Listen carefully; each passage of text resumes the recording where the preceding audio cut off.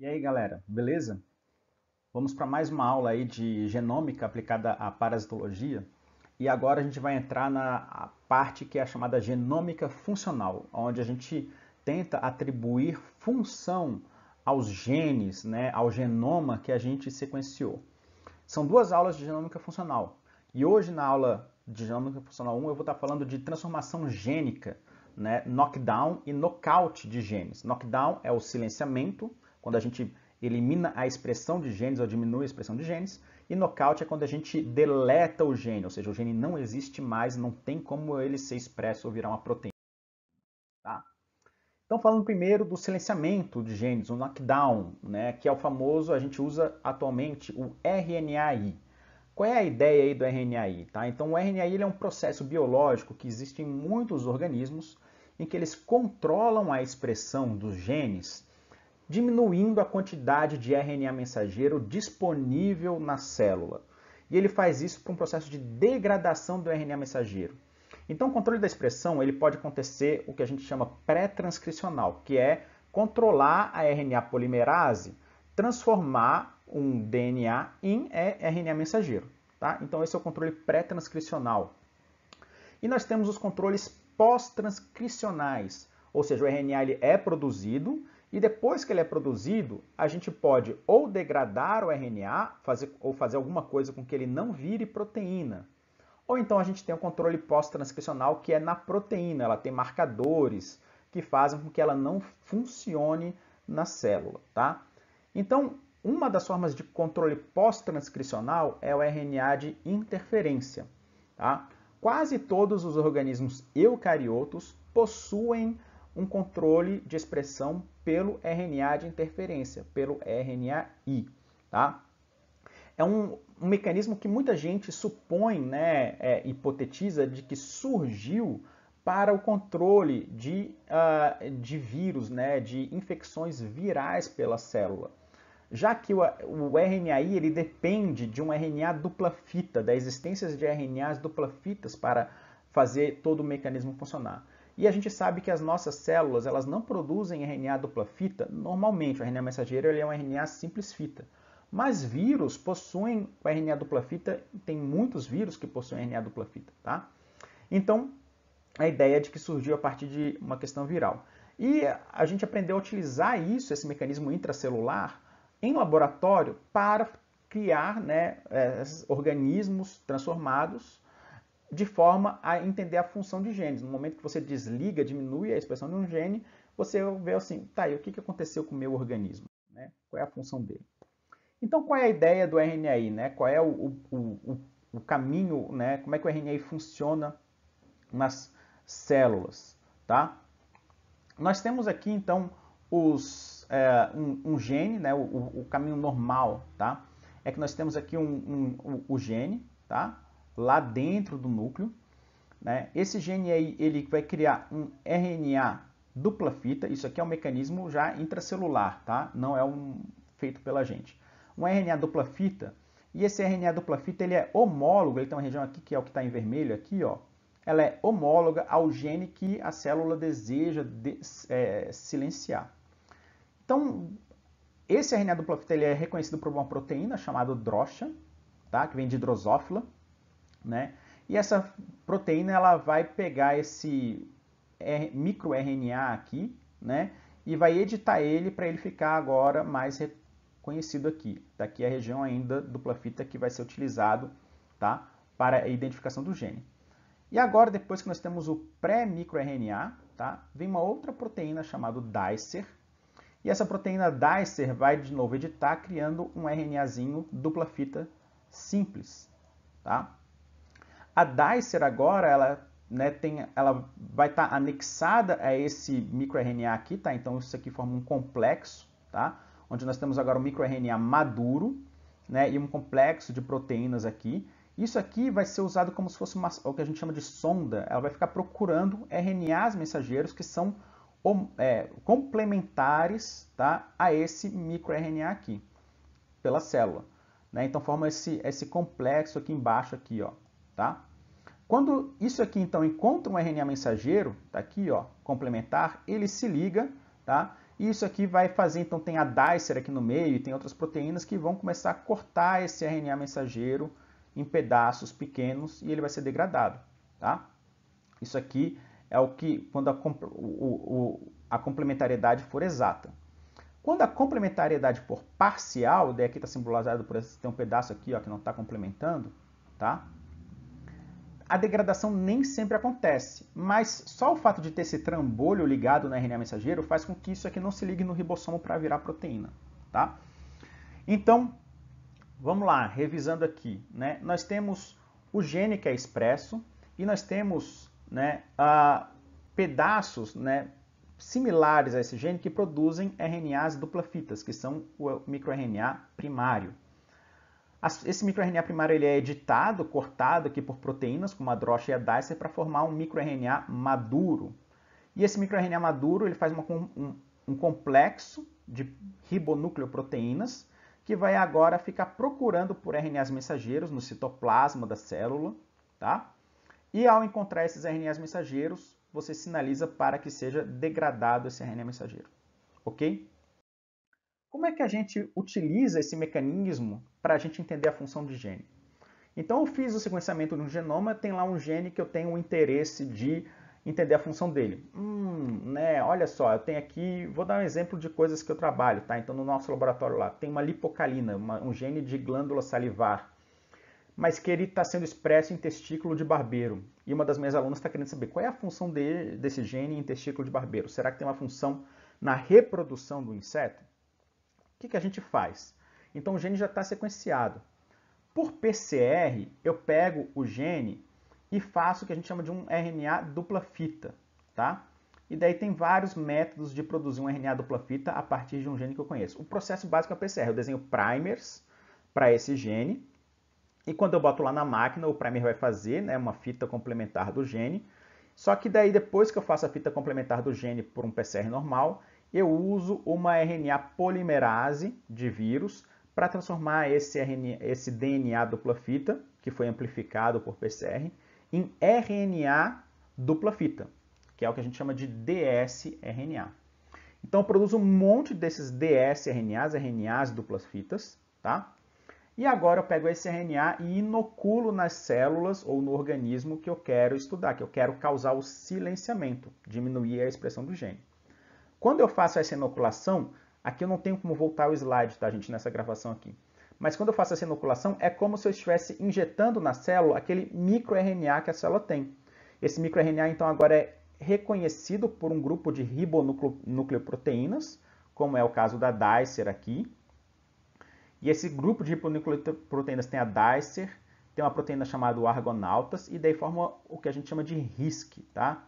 que é um complexo aqui de proteínas aonde vai ter o gene que eu inoculei, né? Só quem é, é o RNA que eu inoculei, o RNA dupla fita aqui. E esse RNA agora ele vai procurar dentro da célula, né, dentro do organismo que eu fiz a inoculação, vai procurar por RNAs que a célula está produzindo e vai quebrar esse RNA, causando o silenciamento. A expressão do RNA vai cair até que chega muito próximo a zero, tá? E na, quando é bem feito, chega muito próximo a zero. Isso não vira mais proteína. Sem aquela proteína, o que eu espero é que aconteça uma alteração visível ou quantificável no meu organismo.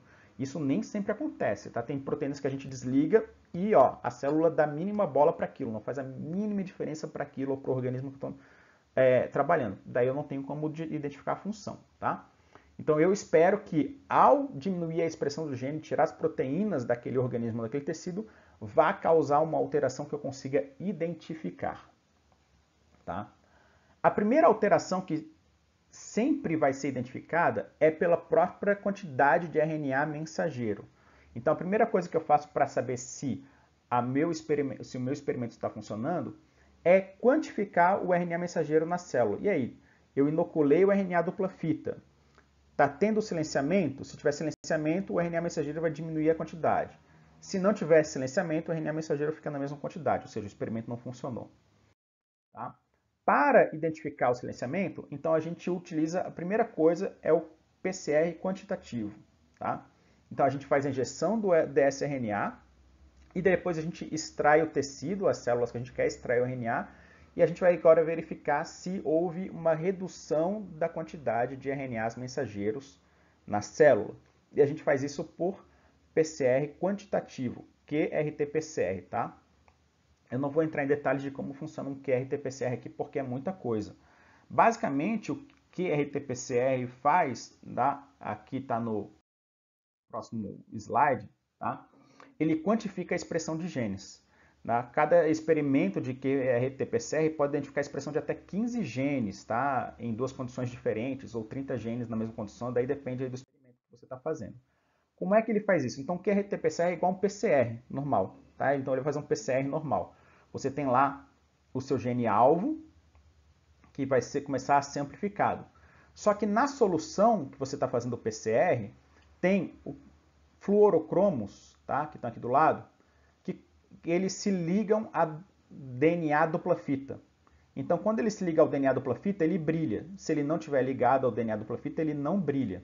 Tá? Então, conforme você vai fazendo a reação de amplificação, né, então você tem o primeiro ciclo, você forma duas cópias daquele gene. No segundo ciclo, você forma quatro cópias, oito cópias, 16 cópias. Lembra que o PCR ele é exponencial. Conforme você vai aumentando a amplificação desse gene, mais e mais fluorocromos vão se ligando e maior vai sendo o brilho a cada ciclo da reação. Então, no PCR ele faz uma, um ciclo da reação e ele usa uma luz ultravioleta para ver qual é o nível de brilho. Depois ele faz mais um ciclo e vê qual é o nível de brilho. O que você espera é que o nível de brilho vá crescendo exponencialmente, igual cresce o número de cópias. Tá? Geralmente está aqui nesses gráficos assim. Ó, tá? Então, isso aqui é o brilho aqui, ó, crescendo exponencialmente. Aqui embaixo é o número de ciclos do PCR. Tá? E aqui é a detecção do brilho, crescendo exponencialmente, até chegar no ponto em que não, não é o que a gente chama de um platô, não tem mais ali, tá? Isso aqui é o nível do brilho que está sendo formado, tá? Aqui é um exemplo de um QPCR onde a gente utiliza alguns padrões, né? Então, ah, se eu colocar um picograma de DNA, um nanograma de DNA e 100 nanogramas de DNA, como é que é o padrão da curva do QPCR para cada um desses? O que acontece é que quanto mais material você tem, né, mais cedo você vai começar a detectar o brilho e vai começar o crescimento exponencial. Quanto menos material você tem inicial, mais tarde, nos ciclos mais tarde, é que vai acontecer esse crescimento exponencial. Então a ideia, no, no caso de RNA mensageiro, quantificar RNA mensageiro, é o seguinte: quanto mais expresso for um RNA, mais material, cópias daquele RNA você tem no início. Então, mais cedo você tem o crescimento exponencial. Quanto menos expresso você tem um RNA mensageiro, mais tarde vai ser esse crescimento exponencial, tá? Então, no, RNA, no silenciamento por RNAi, o que, que a gente espera aqui no QPCR? Você tem geralmente um experimento controle, onde você não silencia, e você tem o teu experimento né, onde você vai estar silenciando o teu grupo experimental. No controle, o nível de RNA mensageira vai se manter. No teu experimento, o nível de RNA mensageira vai cair. E agora, deixa eu botar aqui na tela para vocês verem. E agora, o que acontece é que você vai quantificar isso, tá? Esse grupo aqui, o controle, você vai detectar a expressão mais cedo, lá pelo ciclo 15, 20, dependendo do gene. Já no grupo silenciado, você talvez não detecte essa. Tá? Se o silenciamento for muito grande, você não vai detectar nada.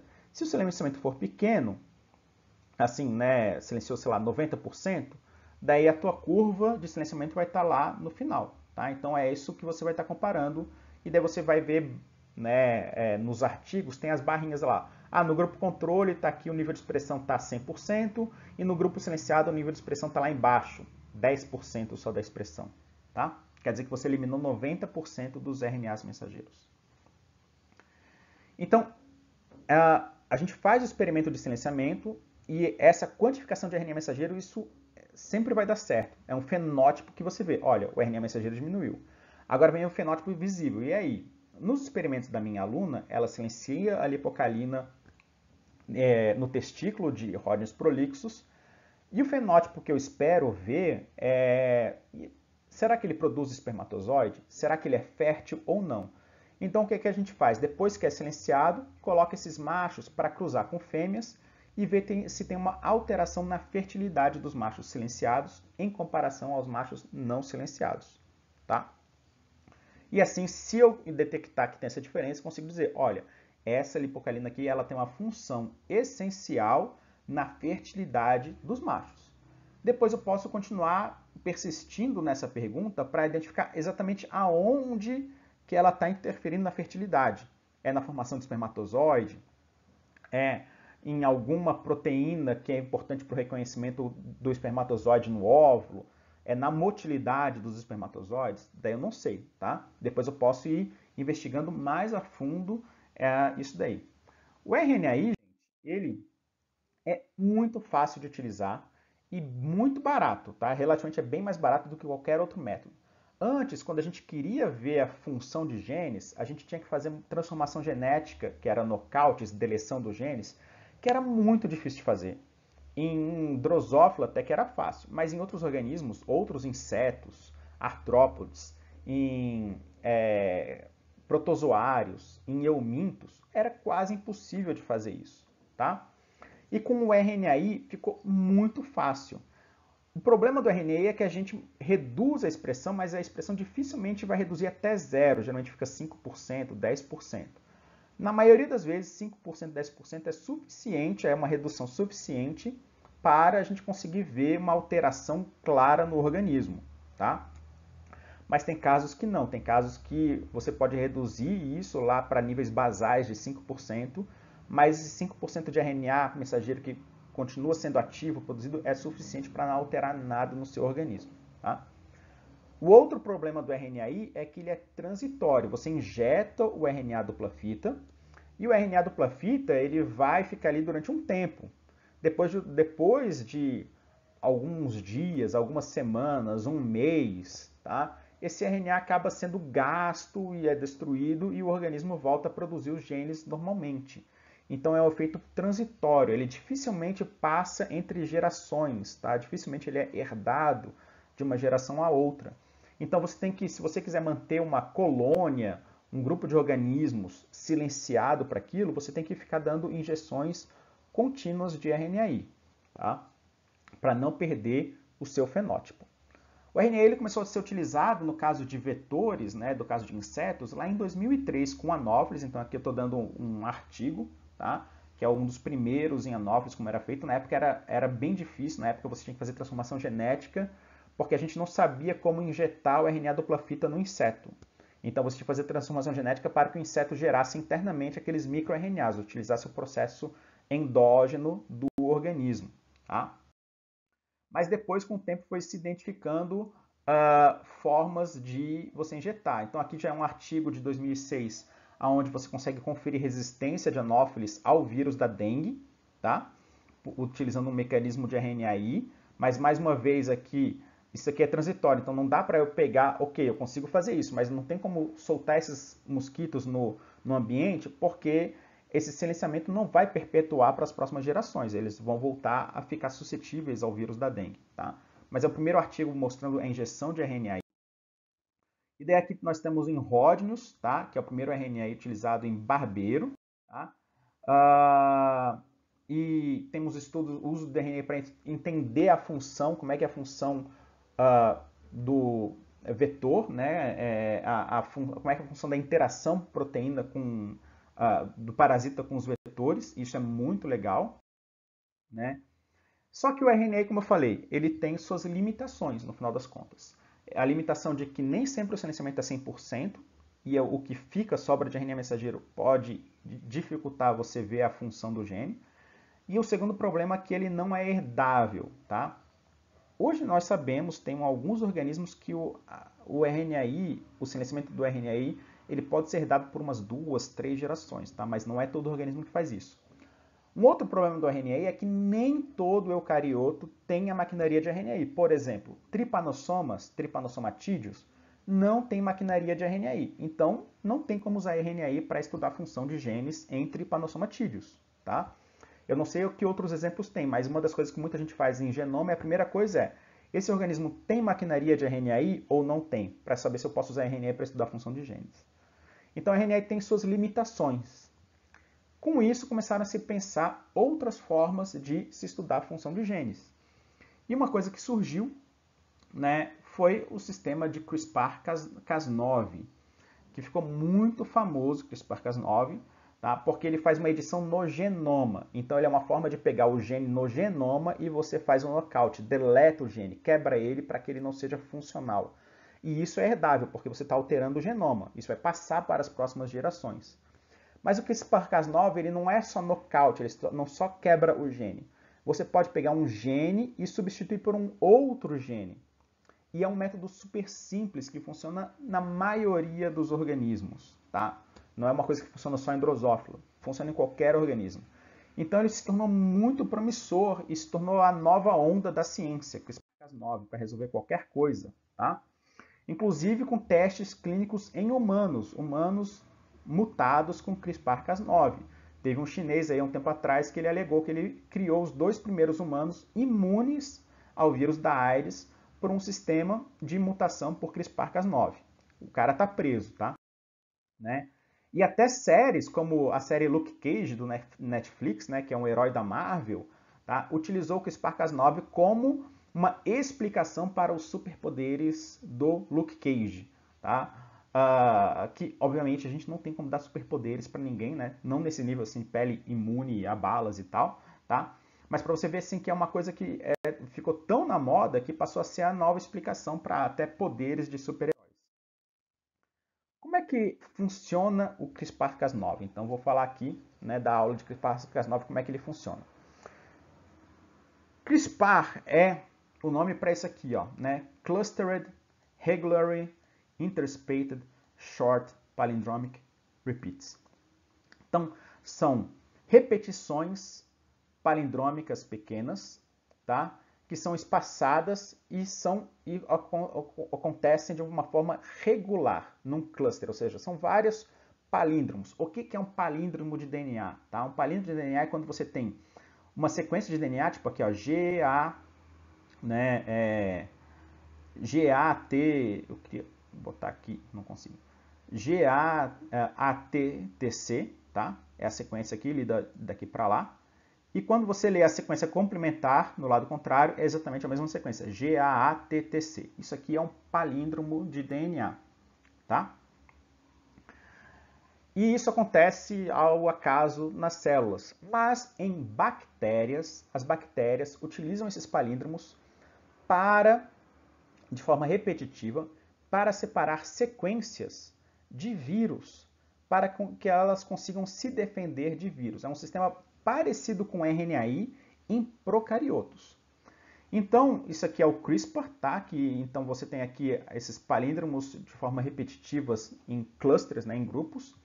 E nós temos nas bactérias uma proteína chamada Cas9. Cas vem de proteína, proteína associada ao CRISPR, associada a essas sequências. São proteínas que se associam a essas sequências. Então, o Cas9 ela é uma endonuclease, ela corta DNA e ela edita DNA, tá? Similar, similar àquela RISC e àquela dicer que nós temos no caso de RNAi. Como é que isso funciona em procariotos, em bactérias, tá? Então aqui, ó, vamos lá na ordem aqui das sequências. Quando um vírus tem aqui um vírus, ele injeta o seu RNA dupla fita ou DNA dupla fita, tá? No caso, vírus de bactérias, a maioria deles é DNA dupla fita, injeta na célula. Você tem a proteína Cas9 que identifica esse DNA dupla fita aqui, ó, tá? As Cas9 não, né? São as proteínas Cas. Eles identificam esse DNA dupla fita. E o que ele faz é pegar esse DNA dupla fita agora, ele vai editar ele, vai pegar um pedacinho pequeno dele, e vai inserir ele entre palíndromos de DNA. Então são pedacinhos aqui, ó, são pedacinhos de DNA viral que são colocados aqui, tá? A bactéria agora ela pega, né, ela tem promotores para produzir essa sequência aqui gigantesca, onde você tem os palíndromos e várias sequências específicas de diferentes vírus. Então cada bloquinho desse aqui é uma sequência específica de diferentes vírus. Ela produz isso e agora uma outra proteína Cas reconhece esses palíndromos, se associa a eles e vai fazer uma edição, cortar, ele usa os palíndromos para cortar eles e criar pedacinhos de DNA contendo diferentes vírus. Imagina que cada pedacinho desse aqui é para combater, quer dizer, tem uma origem num vírus diferente, tá? Esse pedacinho aqui agora é reconhecido por diferentes outras proteínas Cas, né? no caso aqui a Cas3. Ela vai se associar ao Cas3 e agora ela faz igual aquele mecanismo de RNAi, tá? Ela vai utilizar isso aqui para ficar procurando na célula por qualquer DNA que surgir aqui, tá? Que seja complementar a esse pedaço aqui. Quando ela achar um DNA complementar, ela agora vai lá e corta, ela manda endonuclease. Ela vai cortar isso aqui e vai degradar esse RNA, esse DNA viral, tá? Então o DNA ele é inoculado, daí ele é reconhecido como uma coisa estranha, colocado no genoma da bactéria. A bactéria agora usa isso aqui para produzir pedaços pequenos, para criar sondas, para criar quase como se fosse um anticorpo. Olha, meus açúcares bem grande aqui, tá? Um anticorpo que quando esse mesmo vírus infectar essa célula de novo, ela agora tem uma defesa contra esse vírus. Então, sim, isso é um sistema imune aprendido, tá? Bactérias têm um sistema imune aprendido, de novo aqui, muitas aspas, tá? Né? Um sistema imune aprendido aqui, tá? O que, que as pessoas aprenderam isso daí é uma coisa que se descobriu no início dos anos 2000, tá? Uh, meados dos anos 2000, esse sistema. E alguém pegou assim, gente, olha só, é um sistema de edição gênica super interessante. E se eu pegar isso aqui, ó, né, que é esse bloco aqui, ó, e se eu pegar isso aqui, botar aqui um gene que eu tenho interesse, eucarioto, e injetar na célula isso aqui, o que, que vai acontecer? Vai quebrar aquilo lá, teoricamente. E é justamente isso que as pessoas conheceram, tá? Aqui, ah, meu vídeo ficou bem em cima aqui do, da figura, mas depois vocês olhem o PDF, tá? Então, qual é a ideia aqui né, do CRISPR-Cas9 as aplicações uh, em eucariotos? Você vai injetar na célula, no organismo de interesse, todo esse grupo aqui, ó, que é o Cas9, que é essa proteína aqui, tá? E aqui vai ter o RNA, que tem a região palindrômica e tem a região homóloga do gene que você quer fazer o alvo. Tá? Então isso aqui você fabrica daí em laboratório, né? Com PCR também, simples. Tá? Então com PCR você faz em laboratório. Isso aqui que a gente chama de é, RNA guia, né? Ou DNA guia, tá? E você faz a injeção das proteínas, ok? É um pouco mais complicado que isso, mas já, vocês já vão ver depois lá. Essas proteínas elas vão entrar no núcleo, junto com o RNA guia, e vão começar a procurar no cromossomo pela região complementar. Na hora que encontrar uma região complementar, a Cas9 vai lá e quebra o DNA. Tá? Quebrou o DNA. Ele vai quebrar o DNA, nós, lembra que nós somos diploides, nós temos dois cromossomos. Vou deixar aqui do lado.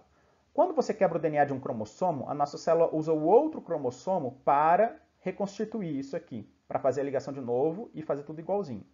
Só que o Cas9, como os dois cromossomos têm a mesma sequência, né, ou muito similares, vai quebrar nos dois cromossomos. E a célula, a DNA polimerase, fica sem informação para reconstruir isso, tá? E daí o que acontece é que sem ter essa informação para reconstruir isso, né, nós temos aqui o que a gente chama de um nocaute, uma deleção, ou seja, o gene é quebrado no meio e na reconstrução a DNA polimerase vai botar qualquer coisa ali e essa qualquer coisa vai fazer com que o gene não seja uh, produzido direito. O RNA mensageiro é feito, mas a proteína vai ser sem nenhuma complementariedade, tá? Então, esse aqui é o uso mais básico do CRISPR-Cas9, é você fazer uma deleção, que a gente chama de knockout, tá? Mas também nesse sistema aqui, ó, quando você faz isso aqui e quebra, você pode injetar junto, então você injeta o RNA guia, injeta a Cas9 e você injeta junto um doador de DNA. Né? Lembra, ele vai quebrar os dois cromossomos. A, a DNA polimerase, se ela tiver uma informação, se você quebra um cromossomo e tem a informação do outro, a DNA polimerase ela sempre vai usar essa informação do outro para reconstituir o outro RNA aqui.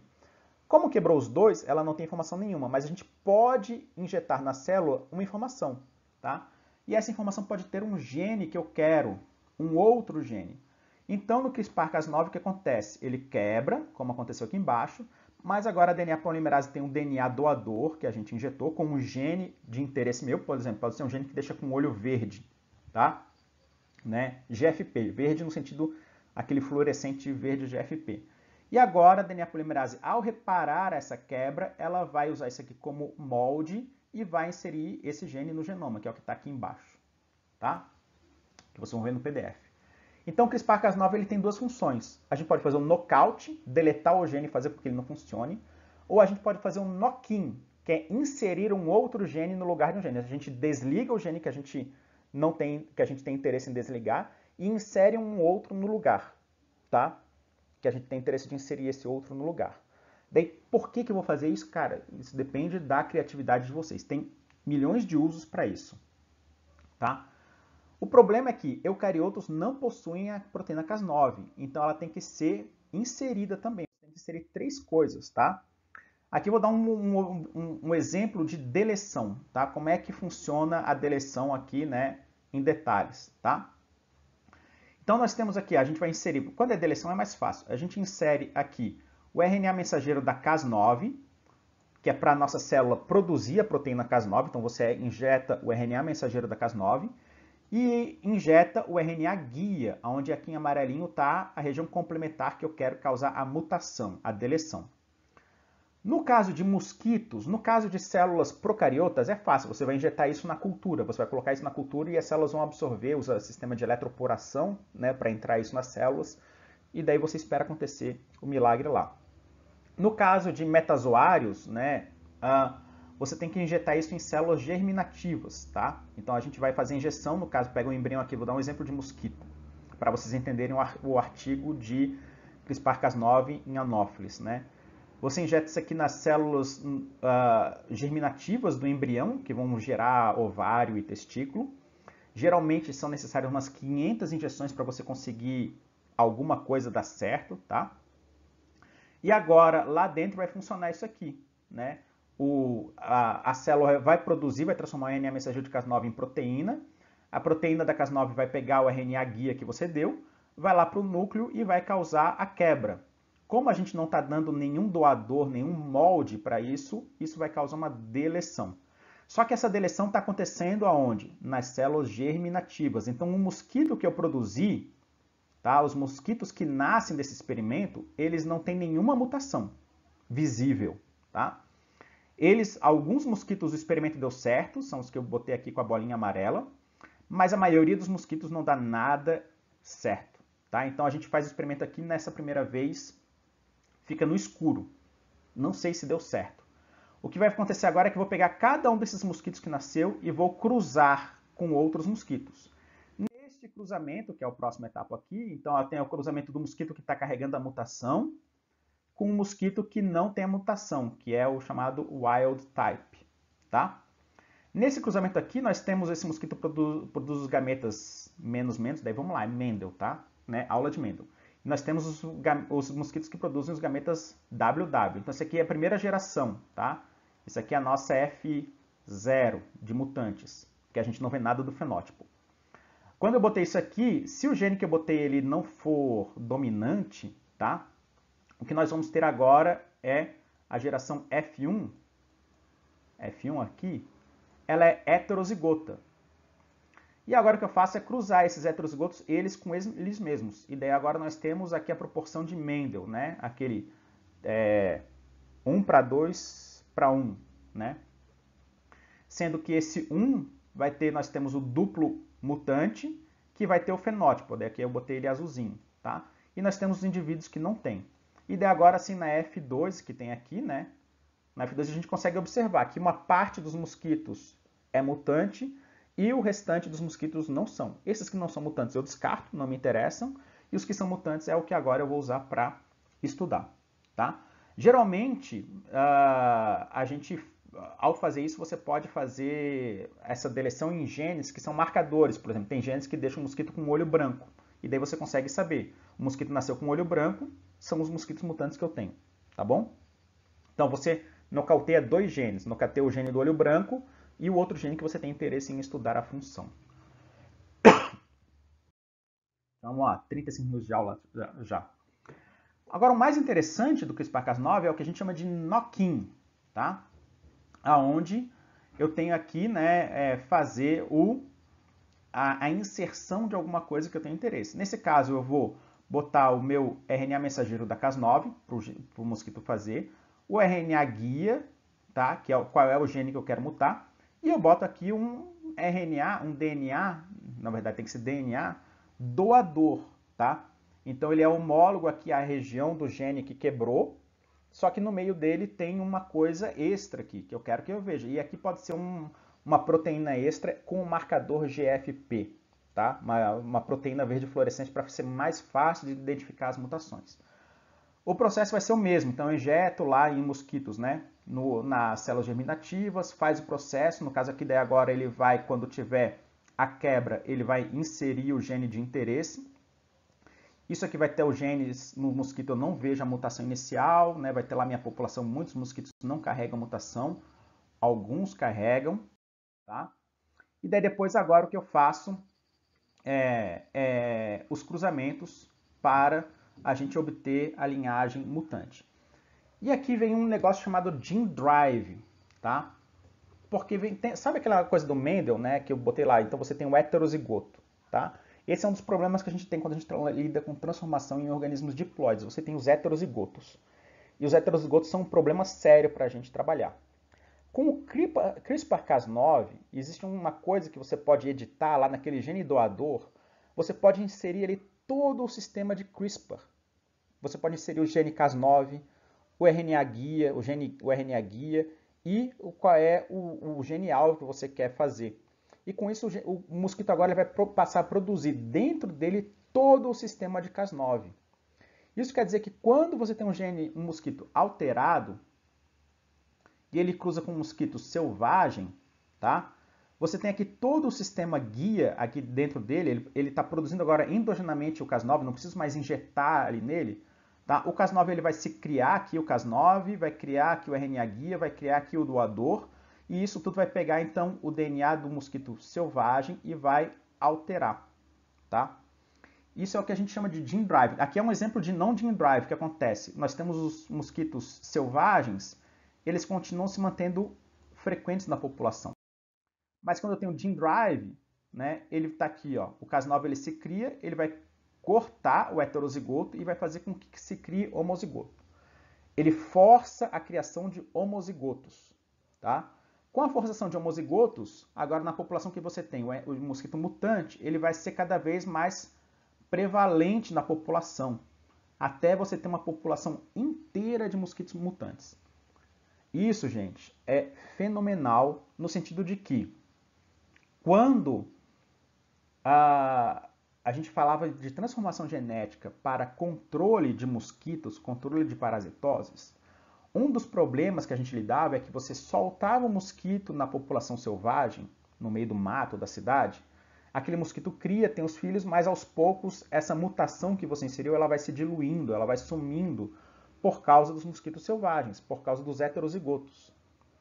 Com o sistema de gene... Ah, e daí para resolver isso, você solta mais mosquitos transformados, e mais mosquitos transformados, e mais mosquitos transformados. Num processo que pode durar muitos anos até você ter um efeito visível, tá? no controle de população de insetos. Com o sistema de Gene Drive, você solta os mosquitos transformados e agora eles têm a mutação, ela passa para os mosquitos selvagens da natureza. O que é o pavor de todo mundo que não gosta de organismos geneticamente modificados. Tá? As pessoas que são contra OGMs são contra porque elas têm medo do gene que foi inserido passar para a natureza. O Gene Drive, o objetivo é você pegar o gene que foi inserido e passar para a natureza, tá? Então tem um sistema aí, hoje a gente pode controlar a malária com esse sistema aqui de Gene Drive. O problema é que a, as decisões éticas e morais sobre soltar esse mosquito na natureza ainda estão se desenrolando. Ainda está se discutindo muito isso, tá?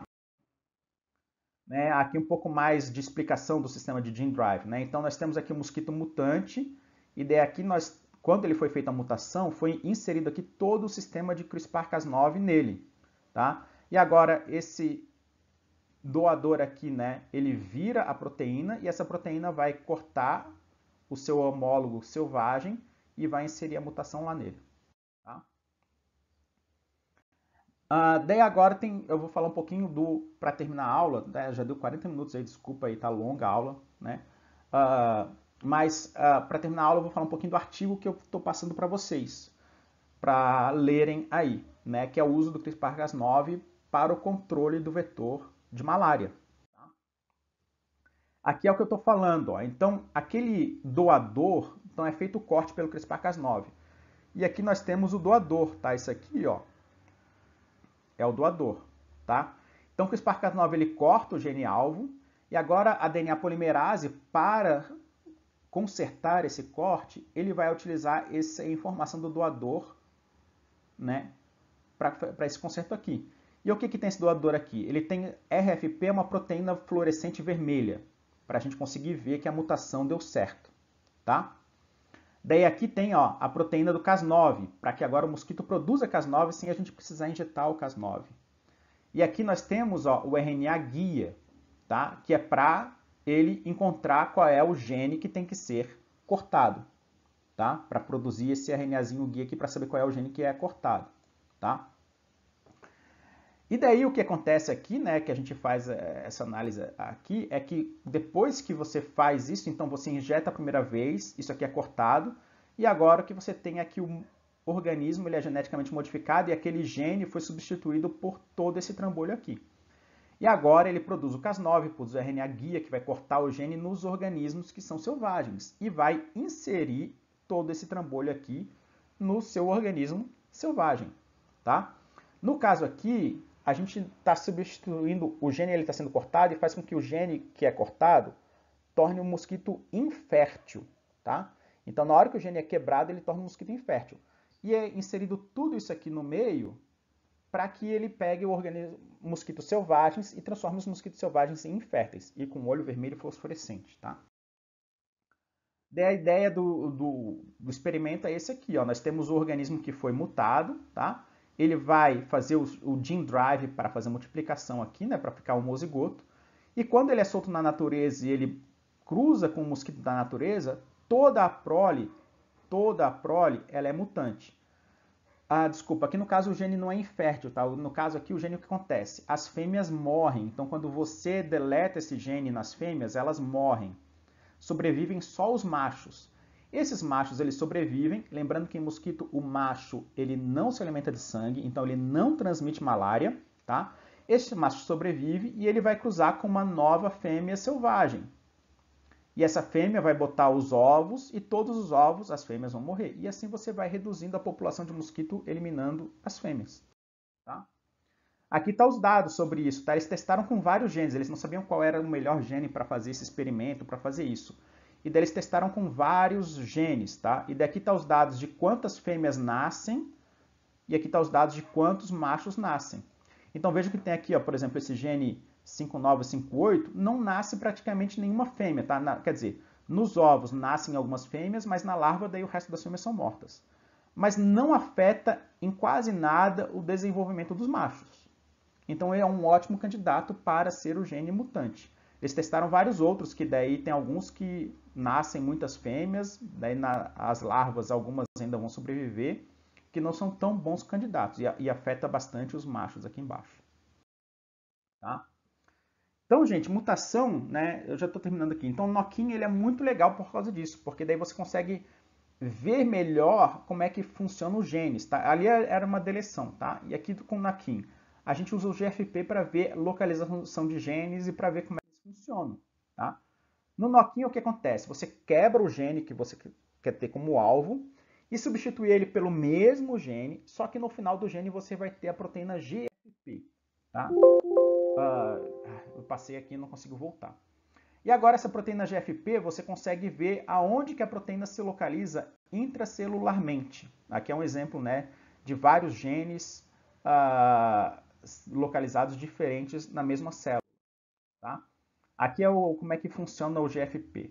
Então, você tem o plasmídio, contendo lá o Cas9, o, o RNA guia e todas essas coisas para fazer, né, pra, é o que você injeta na célula para fazer a quebra. E você tem aqui o doador, tá? O que acontece? A quebra vai ser feita bem aqui no finalzinho do gene, da proteína, Tá? Então ela não quebra em qualquer lugar, ela, quebra num ponto específico, bem ali no final do, do gene. E quando agora a DNA polimerase for consertar essa quebra aqui, ela vai usar esse DNA doador aqui, que eu botei aqui em cima, e ela vai inserir o GFP nesse espaço aqui, ó, no final do gene. Então agora a célula produz o gene, já que o gene ele não foi quebrado, ele está funcionando normalmente, só que no final do gene tem um trambolho lá que é uma proteína verde fluorescente. E aqui é um exemplo de CRISPR-Cas9 usando o GFP em vetor da malária, em anófilis, tá? Para ver se eles testaram aqui são vários genes, aqui são genes, aqui em, em desculpa, é a Aedes, tá? Né? É a Aedes, não é vetor da malária, é vetor da dengue, né? A Aedes, daí aqui tem vários genes, tá?